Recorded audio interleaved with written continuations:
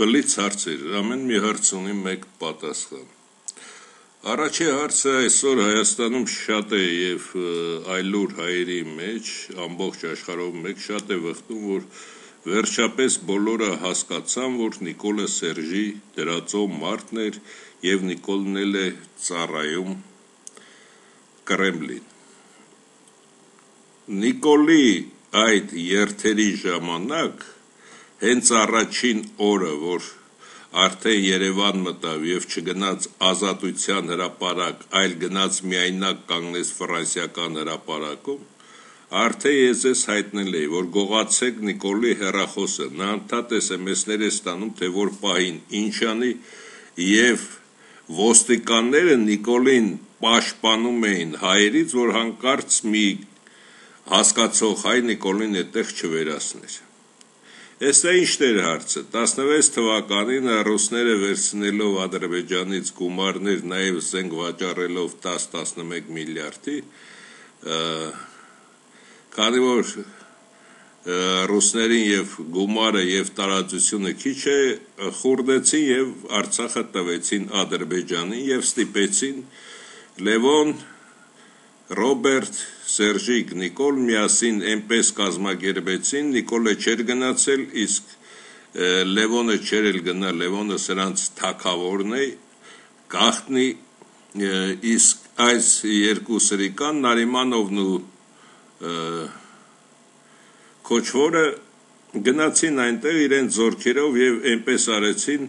Աննա Հակոբյանի հետ արագ ձևով Արցախը տվեցին 44 օրում դա հնարավոր չէր Արցախի նման լեռնոտ այդ վայրերում այն էլ ազերին թեգուս թուրքը կարողանային այդքան արագ առաջ շարժվել անկազմակերպ եւ Նիկոլը Սերժը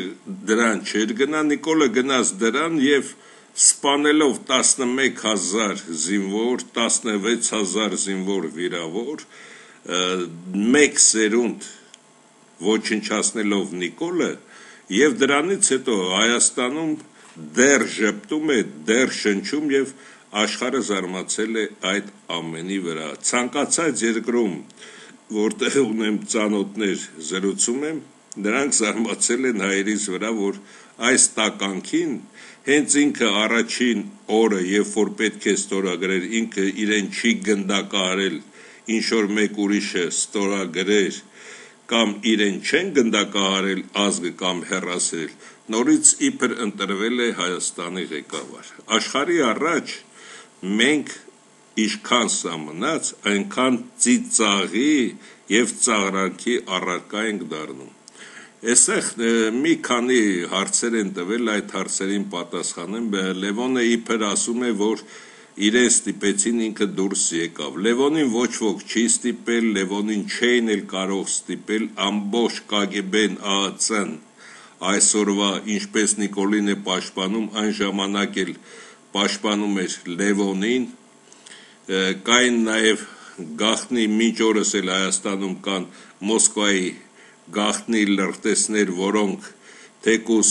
ազնիվ հայ ԱԱԾ-ականները մի բան անեն, վերացնում են, ինչպես նաև վերասրեցին երեքի գլխավոր թիկնապային նրա համար, որ շատ բան գիտեր, արդեն պետք է խոսեր։ Առաջինը դա, որ Լևոնը Լևոնին չեն ստիպել դուրս է եկել, թակավորը կատարեց իր քայլը, գնաց հանգստի եւ դրանից հետո բերեց իր լամուկներին, որբիսի այդ ամենը կատարեն, գիտեք ով ով է։ Նաեւ այստեղ հարց է եղել Նիկոլն ասում է գլխավոր պատասխանատուն ես եմ, բայց գլխավոր մեղավորը ես չեմ։ Եթե Նիկոլին սրա համար հարց տվող չկա, ուրեմն բոլորը թիմար եք։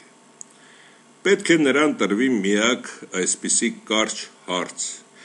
Իսկ քեզ տրվել էր մանդատ, որպիսի վենդետա անես, գումարները հետ բերես եւ արագ սեն գնել։ Ինչի չես կատարել։ Ուրեմն եւ գլխավոր մեղավորն ես դու, եւ գլխավոր պատասխանատուն ես դու, քանի որ դու ինքդ վարչապետ ես, իսկ վարչապետը կարող էր ստուգել, տեսնել, որ Հայաստանից 3-ի ժամանակ գողացվել է 4 տրիլիոն ամերիկյան դոլար։ Ճիշտ է, նրանց մի մասը, օրինակի համար 60-70%-ը կարող է կամ 50%-ը տրվել է իրենց տերերին Ռուսաստան, Անգլիա եւ այլն այդ հանքերը ում հետ ինչպես են աշխատեցնում, բայց նրանց գրպան է մտել մոտարապես 1.5 տրիլիոն գումար այդտեղ էլ հաշվենք դատավորներ, դատախազներ, ՀՀԿ,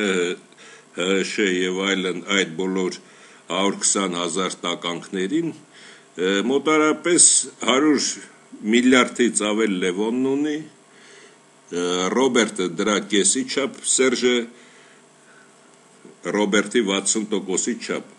մոտ օրերս արդեն Նիկոլի հաշվի եւ Աննայի հաշվի համարները արդեն շեշտում է 7 միլիարդ ամերիկյան դոլար, ինձ թվում է դա քիչ էլ ներկայացնում են։ Եվ ահա այն ամենը, որ 4-ն էլ լրտեսներ են, եթե դուք ժամանակին Նիկոլի հերախոսը հենց ինքը գնաց ֆրանսիական ոչ թե գնաց որտեղ հավաքվել էին թատերական հրապարակ, այլ Ֆրանսիայի հրապարակ, Եվ թեկուս հաջորդ օրերը, որ դուրս էր գալիս եւ ժողովուրդն էր գալիս նրան փաթաթում եւ այլն, այդ պահին Միխելացի տղա գողանար հերախոսը անմիջապես ամեն ինչ པարս կլիներ եւ վատը եւ ծիծաղալին նա չէ եւ ամենատխուր պահը որ Նիկոլը կա այսօր վատը նա է որ իրենց Հայաստանում մտածող անznավորություններ, արվեստագետներ, գիտության թե արվեստի եւ այլ բնակավարներում բարձագույն եւ ավելի կրթություն ունեցողները հենց նրանք են շեշտում, որ սխալվեցինք։ Այստեղ սխալվելու ոչինչ էլ չկար, երբ որ արդեն Վանո Սիրադեղյանը պատրաստում էր Լևոնի հետ Նիկոլին, Աննա Հակոբյանին գցեցին նրա վիզը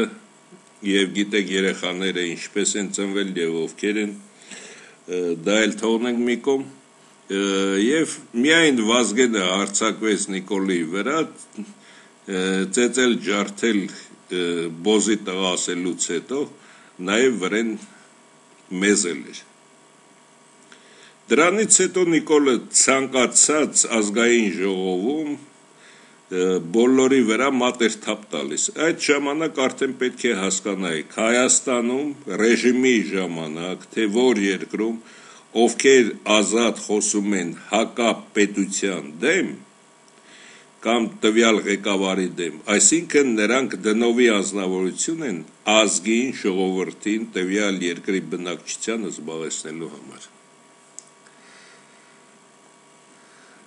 Երկրորդ հարցը. Նիկոլը պետք է լավ հասկանա, եթե գնաց պարտիզանական կռիվ, ապա 61000 հայեր գալու են Հայաստան։ Եվ Նիկոլը այնքան թասիբել չուներ, որ այդտեղ շեշտեր, որ բայց Հայաստանի հարցը։ Այստեղ ինչի համար դա ասեցի եւ շատ շուտ ֆիլմերում ես դա նշել եմ. Եթե հայերս խելացի լինեինք եւ ջհուդ Զորի Բալայան նավապետին չլսեին 88 թվականին ես 20 30-ին մոտ մարդ հասկացել էի որ դա սխալ էր այդ պահին եւ ընդհանրապես դա սխալ է որ առաջինը մենք ենք նվան քայլանում թող մեկ ուրիշ երկիր անի տեսնենք ինչ կլինի նոր մենք եւ դա կոտրեցին այրից գլխին այս տականքի եւ մի երկուսի որին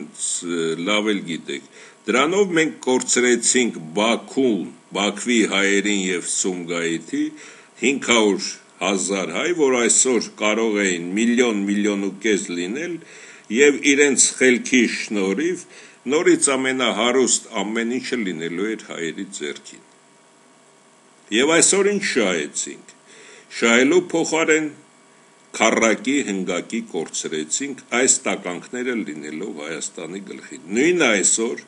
Ղազախստանում չգիտեմ, գիտեք թե չէ, այս 61000-ը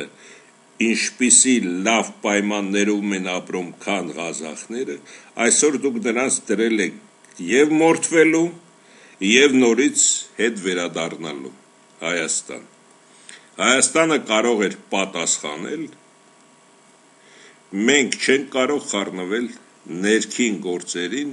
թեկուս այդտեղ terroristներ կան, այդ դա այդ երկրի գործն է։ Իսկ ինչի Ադրբեջանում terroristներ կային, որոնք հարձակվել էին Արցախի վրա եւ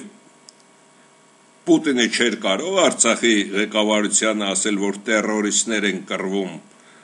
Սիրիայից, Պակիստանից, Աֆղանստանից եւ օգնության խնդրեր հասներ եւ չթողներ Ադրբեջանը հաղթեր։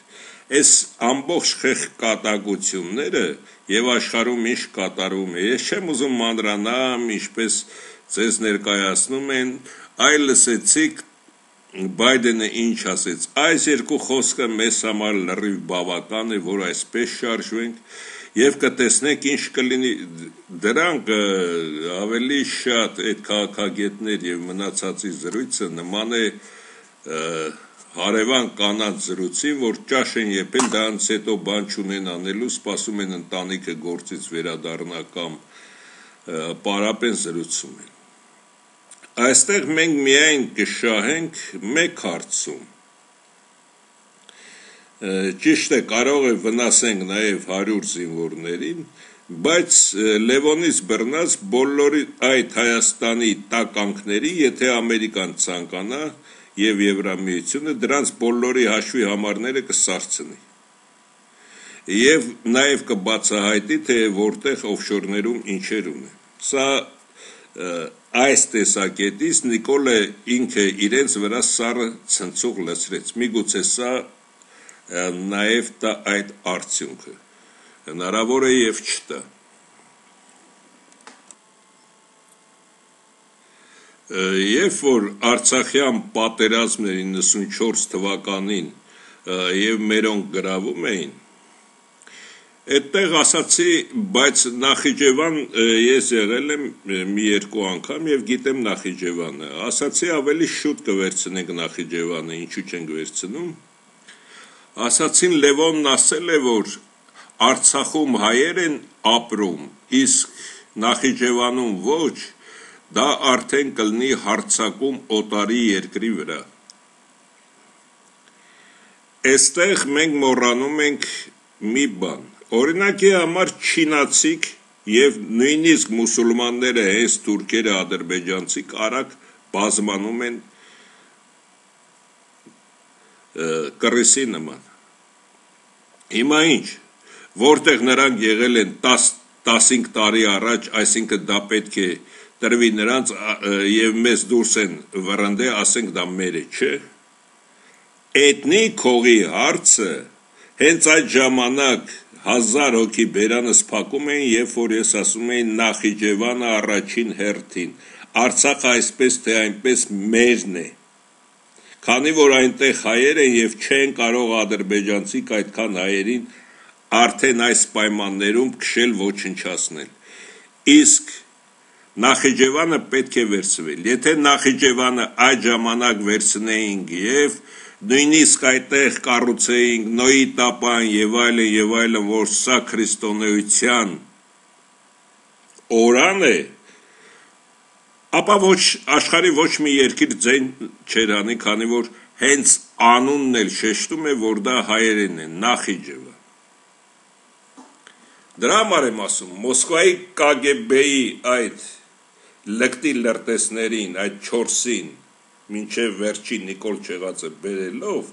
ամեն ինչ խեղաթյուրում են կամ հիմի պետք է մենք ճանապարհ տանք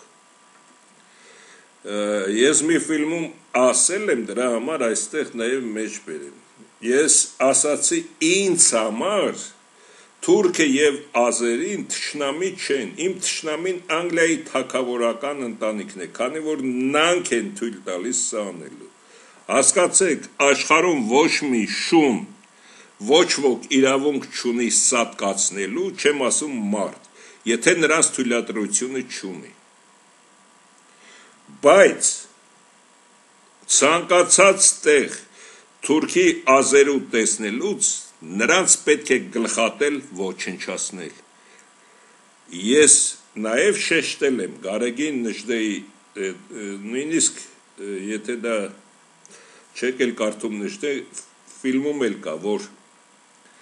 կանած երեխաներին ինքը ձեռք չի տալիս։ Իզես ընդհակառակն եմ ասում։ Առաջի հերթին կանած երեխաներին պետք է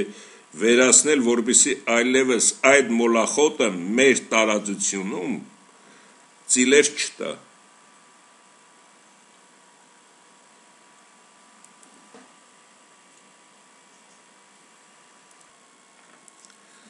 Հարց է եղել կրոն եւ ազգային արժեքներ գրել եմ այսպես արևորտիներ խոսենք այդ մասին Ես համոզված եմ 100%-ից ավել, որ իրենց քրիստոնյա անվանող հայերի 99%-ը Աստվածաշունչը չի կարդացել։ Իսկ 1%-ը գիտի անգիր արած պատվիրաններ եւ այլն մի քանի երկեր նաեւ եկեղեցիական եւ նրանք էլ կիսատ պրատ միգուցե կարդացել են բացի մասնագետներից եւ եկեղեցիականներից ոչ ոք չի կարդացել այդ գիրքը եւ բոլորը հավատացյալ են Հավատ դա ինչ է նշանակում։ Հավատալ։ Այսինքն նշանակում է հավատալ դրան, չէ՞։ Բայց ինչին հավատալ։ Ինչին հավատալ։ Մի անգամ մի վետնամցի ինձ ասաց քրիստոնյաները ապուշ եք, ասեցի ինչի, բայց ես ճիշտ է քրիստոնյա ազգի ներկայացուցիչ եմ, բայց ես քրիստոնյա չեմ։ Ասես փայտը քարը դնում են խաչ սարքում, սկսում աղոթել դրա համար։ Մեր Աստվածը իրական մարդ է եղել եւ սովորեցել է ինչպես ապրենք։ Եվ երկնքում մենք ոչ տեր ենք փնտրում, ոչ այլն, գիտենք որ մահացանք դրանով վերջացավ։ Եվ Հնդկաստանից բռնած մինչև այդ մանր մարդիկը չինացի, վետնամացի եւ այլն բոլորը այդ մասին գիտեն բայց քրիստոնյաներս ու մուսուլմանները տրամադրված են որ անպայման երկնքում կա Աստված նաև շեշտում են որ բայն չենք այսպիսի երազներ տեսնում Բայց ընդհանրապես ինչու եք դուք տեսնում։ Եթե դրա պատասխանը չունեք, ինչպես կարող եք մտածել ինչ եք երաս տեսնում։ Ես դա կարող եմ բացատրել։ Ինչ եք երաս տեսնում։ Քանի որ ձեր աչքերի մեջ ամեն մի աչքի մեջ, որը նաև երկու աչքերը իրարից հեռու լինելով դուք սերյո եք տեսնում մի աչքով մի աչկանի մարդը կարող է խփել քարի ոտքը, կարող է փոսը ընկնել, քանի որ նա չի տեսնում տարածության չափը։ Դա մի կողմ թողնենք։ Դուք տեսնում եք մարդուն։ Հետագայում հիշում եք, ինչպես է դա կատարում, քանի որ ամենափոքր մասնիկները 6 հատ մտնում են ձեր ուղեղի մեջ աշկից դեպի ուղեղ եւ նա գրանցվում է այնտեղ որ դուք այդ տեսել եք եւ չեք մոռանա միգուցե եւ մոռանաք չհիշեք դա ով էր ինչ էր կամ ինչ որ մի պատկեր դա ավելի բարդ բացատրելու թեմա է այդքանը կարճ པարզ բառերով ասացի ասացի ձեզ երկրորդը նույնը այդ նույն պատկերները եւ ինչ դուք մտածում եք եւ նույնիսկ եթե ասում եք մահացած մարդը եկավ եւ ասաց այսպիսի բան, որը կատարվեց կամ մարդը ասեց վատ եմ մահանալու եմ։ Նույնիսկ Հովանես Թումանյանը տեսել է, որ աղայանը վատ է մահանում է, վերեկացե գնացել, տեսել է դա ճիշտ է։ Ես նույնը 3000 կիլոմետր լինելով մեր տնից հեռու միշտ զգացել եմ մայրս, որ, որ օրը ավելի վատ է։ Դա ոչ մի աստծո հետ կապ չունի մեր իսկական դուգոր հոգի եք ասում զգայարանները դրանք աղիներն են աղիներով ենք մենք զգում ոչ թե սրտով կամ թոքերով կամ գլխով եւ այլն աղիներն են զգում եւ նրանք զգում են փոքր ցավ, մեծ ցավ, որը ուտելիքի կամ թունավորման հետ կապված չէ։ Դա ինչպես է կատարում։ Եթե դուք հասկանաք միայն մեկ բան, այստեղ ցուցադրեմ, այս մասին էլ պետք է խոսենք, որ երկրագնդին ամեն վարկյան տեզերքից արևից մոտենում են մասնիկներ, դրա համար երկրագունդը պատտվում է 24 ժամում, մեկ օրը 24 ժամում, իսկ նրանից 100 կիլոմետր հեռու արդեն Արբանյակը կատարում է 16 կես պտույտ համարյա։ Եվ հենց դա այդ մարմինների, մասնիկների շնորքն է, որ դուք նույնիսկ հերահար զգում եք լավ բան կամ վատ բան։ Այստեղ Աստվածային ոչինչ չկա։ Քրիստոսը դա ինքը նույնպես մարդ է եղել, երկու Քրիստոս է եղել։ Մեկը եղել է ծույլ անբան, որը դա Անգլիայի թակավորի տղան չի եղել Քրիստոսից առաջ։ Անգլիայի թակավորը նարկոտիկ տալով նույնիսկ Մայրամը չէր հասկացել ինչպես երեխա ունեցավ կամ հղիացավ, խափեցին թե իբր կույսը հղիացավ։ Այդպիսով Մայրամը ունեցել է Քրիստոսին, որին ուղարկեցին Հնդկաստան եւ Հնդկաստանի լեռներում էլ մահացավ։ Իսկ առաջին Քրիստոսը, որին խաչեցին, այդ Քրիստոսը ինքը նույնպես եղել է անբանի մեկը իր կինը Մարիա Մագդաղացին գիշերները դուրս է եկել pornokությամբ զբաղվել, որպիսի երեխաներին պահեն։ Եվ այսօր դուք կանգնել եք մի պատմություն, որը առասպել են սարքել մեր հայոց առասպելները դեն եք նետել, թքել եք դրա վրա կրոն, կրոն, կրոն։ Հիմա 301 թվական, ես կարող եմ դա ավելի պարզ տեզեր կա ամեն ինչ ասել, ցանկացած մարդու հետ վիճել եւ հաղթել, բայց եթե մարդը ցանկանում է իմանալ, որ Աստված չկա, տեզերքի ամբողջ գաղտնիքները, ասելուց հետո այնքան པարս կասվի նրան, որ ինքը կհամոզվի, որ դա ճիշտ է, ասելուց հետո այդ մարդուն պետք է գնդակահարվի, քանի որ մենք չգիտենք այդ մարդը այլ տեղ կխոսի թե չէ, քանի որ դա միայն հայ բարձրագույն օրգանի հարստությունն է, ուրիշ ոչինչ։ Եվ ինչ եմ գրել նաև ազգային արժեքներ։ Ազգային արժեքները թեկուս ամենահարուստ ազգային արժեքները մենք հայերս ունենք, դա ազգային արժեք չէ, եթե չկան ուսուցիչները, եւ չկան համապատասխան աշակերտները, որ ուսուցիչները նրանց պարապեն։ Եթե ամեն մի ընտանիքում ամեն մի ծնող իր երեխային ճիշտ դասյարակի բացատրի աշխարը, բացատրի ազգերը, ցեղերը եւ էթնիկ հողը մեր նախնիները կամ ինչ ենք մենք խելացի կամ ինչ ենք այս տեսքով, ապա երեխան կհասկանա, որ մենք մի ազգ ենք, մենք միասին պետք է ապրենք, մենք միասին պետք է պայքարենք այլ ազգերի ցեղերի դեմ։ Եվ այդ ծնողը պետք է ներկայացնի կամ այդ դասատուն ուսուցիչը պետք է ներկայացնի, որ տես եղել է կարմիր մայրցամաք, եղել է Ավստրալիան կանաչ մայրցամաք, բայց այդտեղի բնակչությանը վերացրել են Ինչպես նաև սրանք հայկական հողեր են, որpիսի իրեն գամ բնակվեն։ Այսինքն հողը շատ թանկ է եւ հողի համար արյուն են թափել մարդիկ, որpիսի իրենք ապրեն ավելի լավ տեղ, քան մի ուրիշը։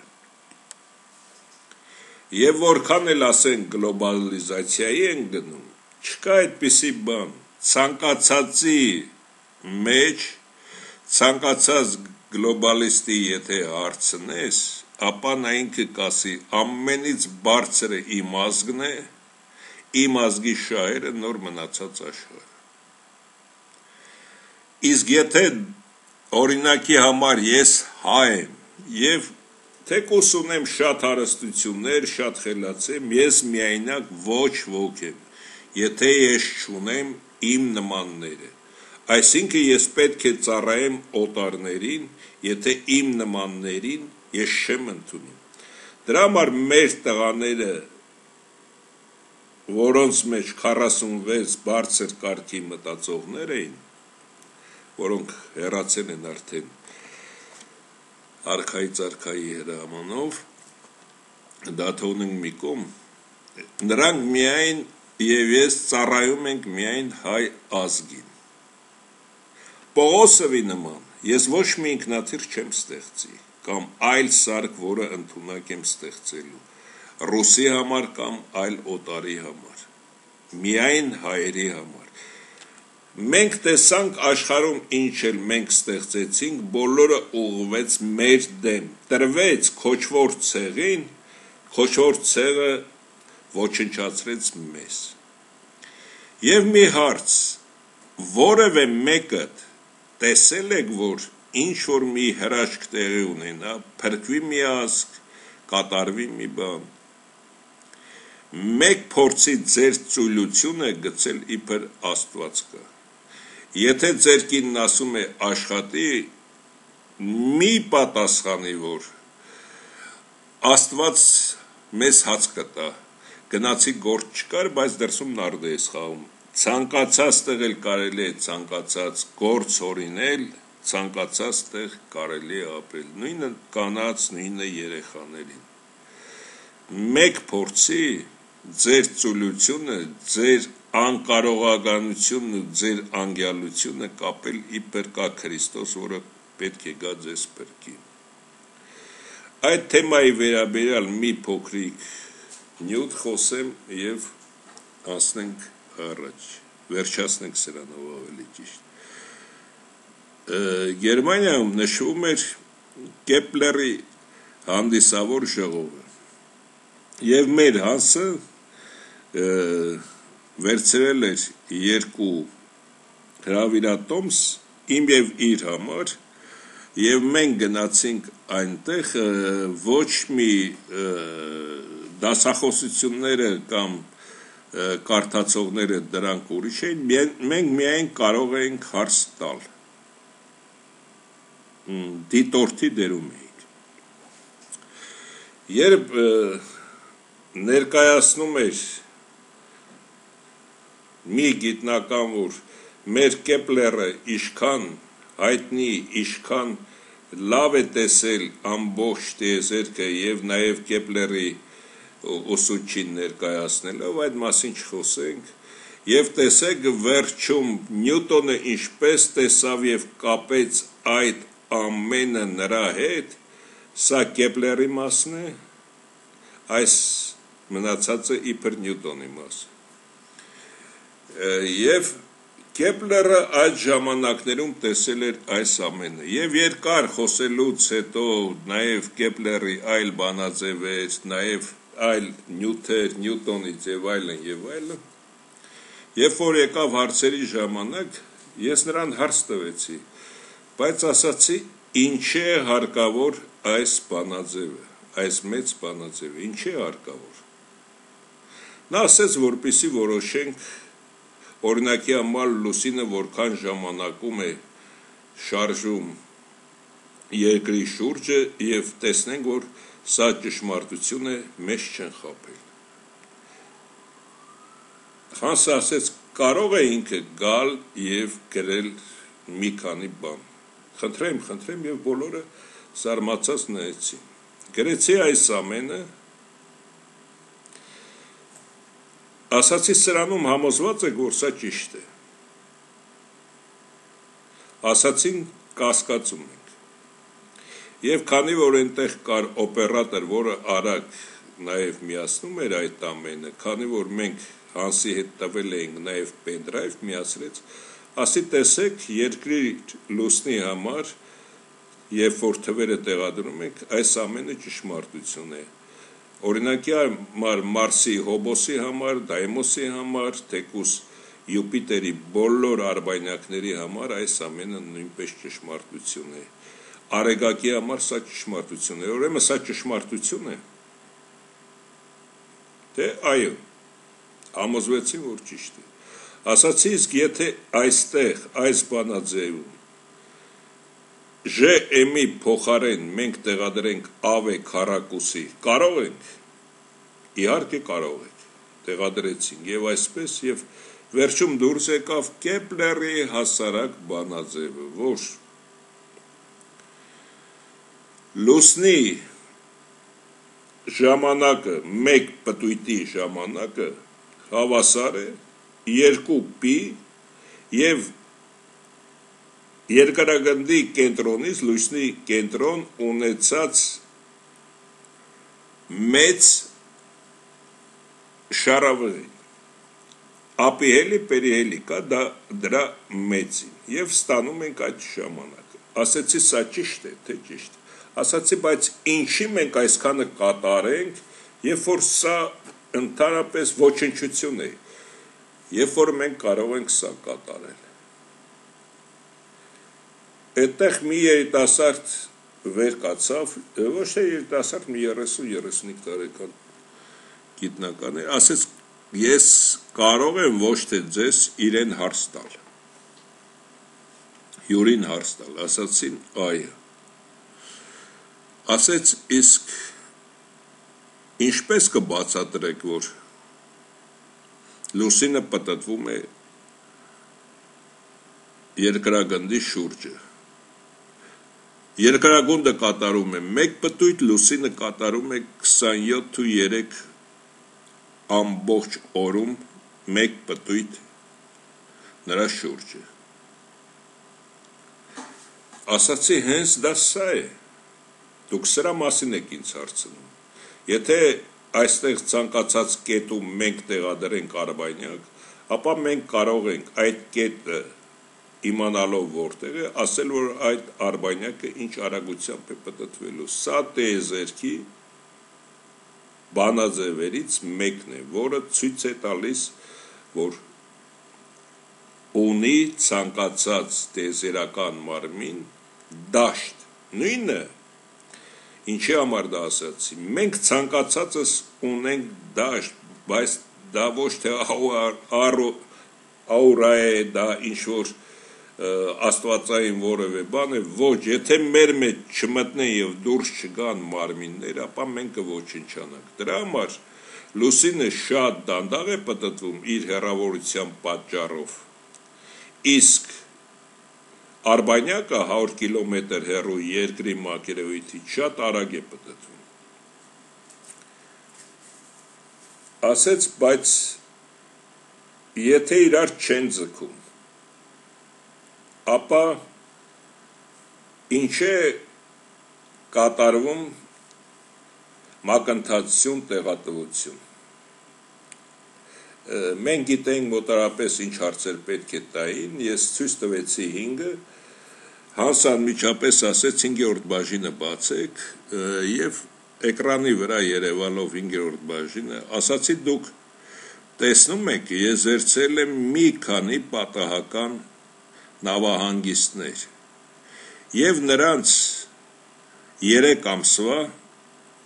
մակընթացություն տեղատվությունների դուք տեսնում եք որ դրանք կրկնվում են ամեն ամիս եւ նրանք ինչպես տարվա ամիսներն են օրերը այդպես էլ նախորոք արդեն տեղադրվում է եւ բոլորը գիտեն որ դա այդքան է լինելու ասես դա լուսնի ձգողականության հետ ասացի իսկ պին մարմինը եւ հեղուկը իրարից պտույտ կատարելու ժամանակ, ռոտացիայի ժամանակ կարող են հետո առաջ ընկնել, ասեց այո։ Ասացի իսկ եթե նրանց միջև եղած հերավորությունը այս դաշտում, երկրի դաշտում փոփոխվում է 54 540 կիլոմետրի չափով կարող է այդ դեպքում մակընթացությունը եւ տեղատվությունը ունենալ մաքսիմում եւ մինիմում արժեքներ, ասեց այո, ասեցի հենց դա դրա հետ է կախված։ Ոչ մի ձգողականություն չկա։ Եվ դա արդեն ձեր գործը չէ։ Ինչի համար այս մասին ասացի։ Հենց այդ մասին եմ ուզում խոսել։ Եվ այդտեղ կանգնեց մեկ գերազանց սովորող ուսանող ասեց բայց ով է մեզ խափում ինչու են մեզ խափում ես հասկացա ձեր ասածը դա ճիշտ էր ձեր ասածը բայց ինչ են սրանով մեզ խափում ասացի դուք ինքներդ փնտրեք թե ով է ձեզ խափում եւ ինչու ասացի Քանի երկիր է թրջում տիեզերք։ Երկու։ Ասի իսկ ինչ է ձեզ թվում է նրանք պետք է ձեզ ասեին մենք թրջում ենք այս բանաձևով։ Չէ որ նրանք ձեզ պետք է խափեին եւ միայն իրենք թրջեին տիեզերքի եւ այլ հարցեր։ Ասես բայց ինչի, չէ որ դա աշխարհահռչակ բանաձև, ասցի իսկ ինչի գերմանացիք պատերազմի ժամանակ, երբ որ ատոմային ռումբ էին ուզում ստեղծել, նաև ռուսներին եւ ֆրանսիացիներին էին տալիս, ֆրանսիացիք պարտվել էին, ռուսները համարյա պարտվում էին, որ նրանք էլ ստեղծեն, թե ոչ։ Ասում բայց ինչի նրանք պետք է ձեզ տան։ Նրանք պետք է ձեզ խափեն։ Եվ 3 2 ժամ 10 րոպեանոց այդ հանդիսավոր նիստը Կեպլերի տևեց մոտարապես 6 ժամ։ Ինչի համար եմ դա ասում։ Ես ցանկացա, որ նաև մարդիկ այդ այստեղ իմանան ճշմարտությունը եւ այլ ճշմարտություններ։ Այստեղ դուք ինչի չեք ինքներդ փնտրում ճշմարտությունը։ Վերցնեք որևէ մի դեպք, թեկուս Արցախյան վերջին դեպքը, որը մենք պարտվեցինք, այդքան զոհ, այդքան արյուն, այդքան վիրավոր։ Եկավ ձեր Աստվածը։ 15 թվականին եկավ ձեր Աստվածը։ Ինչ եք դուք փորձում խավվեք։ Նույնիսկ եթե չեք հավատում, փորձում եք խավվել։ Ամենա դժվար եւ ամենա չսիրված բանը կյանքում դա ճշմարտությունն է բայց փորձեք թեկուս ձեր կյանք ամբողջ կյանքը ներդնեք ինչ հարց ձեզ հետաքրքիր է հասնել ճշմարտության երբ որ դուք հենց այս ժամանակ իմանայիք որ սա լրտես է եւ բոլորը համոզվեիք լևոնին չէի կընտրի երբ որ իմանայիք որ կագեբեն են նստած ոչ մի ոչ ոք չկա նորից չէի կատարի Նիկոլը Կրեմլի դրածո է։ Հիմա կասեք այս հարցում ինչի վերադարձա։ Ես ասել եմ սորոսականները։ Իսկ Նիկոլի անձնակազմը դրանք սորոսականներ են, որոնք իրենցից ոչինչ չեն ներկայացնում։ Նիկոլը ամեկին մի կոնֆետ, մեկին մի 1000 դոլար, մեկին մի 2000 ուրախանում են այդ լակոտները Ալեն Սիմոնյանից բռնած միգուցե այդ մի քանիսը ավելին են փորձում Նիկոլից փոկել բայց Նիկոլը հենց սրանց այսքանի դրած դրածոն էր որը պետք է կատարի նրանց հրահանգները եթե այսքանը ժամանակին հասկանայիք բոլորը դա շատ լավ կլիներ դրա համար ամենակարևոր բանը ով է ուսուցիչդ եւ ինչ է սովորեցնում։ Կյանքիդ համար ամենակարևոր բանը դա է, որ ունենաս նորմալ ուսուցիչ եւ նորմալ բան սովորես, չծուլանաս։ Բացի դա մարդ անընդհատ պետք է աշխատի իր վրա։ Եթե մարդը մեկ օր չաշխատի իր վրա, չմտածի ինչ որ բանի մասին, ոչ թե Էս ինչը գնաց են ինչտեղը, վայ, վայ, վույ, վույ, ոչ, մի նորմալ բանի մասին, ինչպեսին օրինակի համար էս հարցն է, էս հարցն է, էս հարցն է, եթե նման բաների մասին մարդը չպետք է մտածի, ապա մարդը ինքը վերանում է կենցաղային առարկաների շնչավոր մասնիկ է դառնում, որը խժռում է այդ կենցաղային առարկաները։ Այսքան